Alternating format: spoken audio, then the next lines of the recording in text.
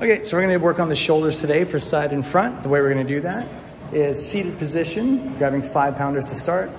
Helen's abs are gonna be tight, back's gonna be strong. She's gonna put her hands by her side first.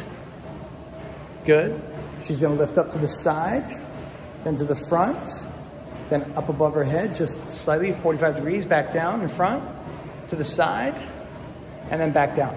And then again, side, front, up, down, side, down. That's it. Side, front, up, down, side, down.